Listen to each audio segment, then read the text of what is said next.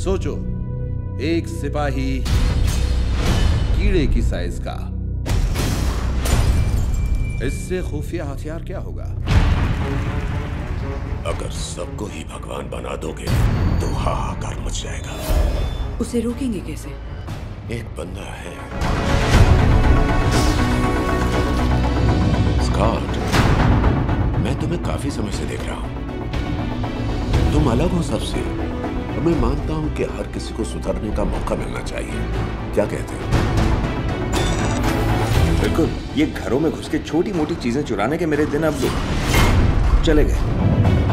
पापा आप फिर से एंटमैन क्यों बने? अब क्या बताऊँ? मजबूरी में बनना पड़ा। मुझे भी गुंडों के साथ डिशुम डिशुम करनी है। मगर मुझसे तो हर बार गड़बड़ हो जाती है।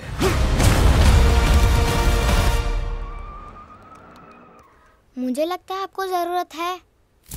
हाय।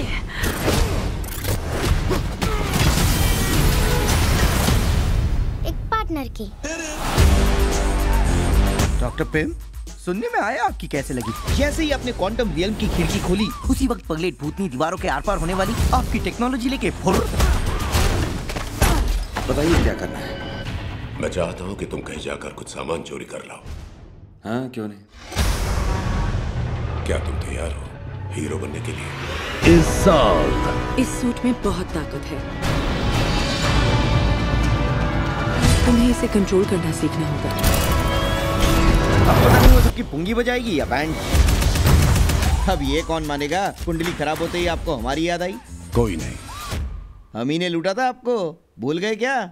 वो हम ही थे। सिर्फ़ तुम दोनों ही दुनिया की आखिरी उम्मीद हो। The Wasp, जोड़ी नंबर वन वाह चुपचाप देखो और सीखो।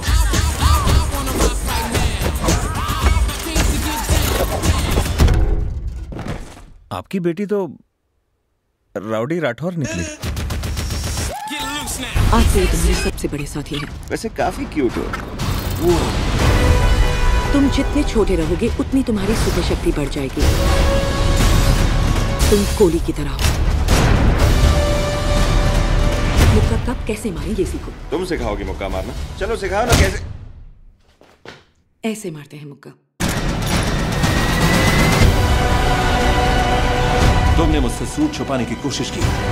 अब तुम्हारे लेने के दिन पड़ जाएँगे। तुम पैदल जाओ मैं उड़ के आता हूँ। पंख मेरे पास हैं तो मैं पैदल क्यों जाऊँ?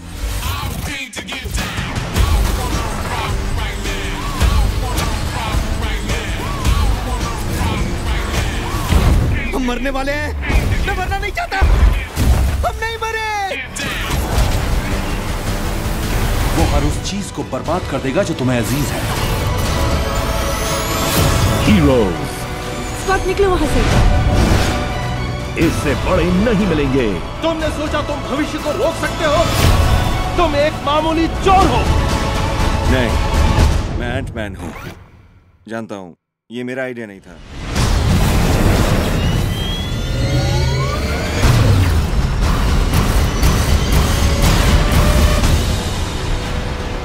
Ant-Man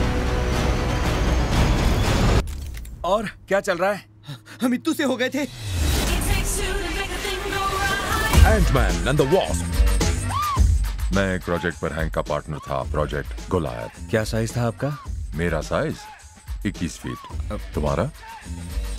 65 feet 65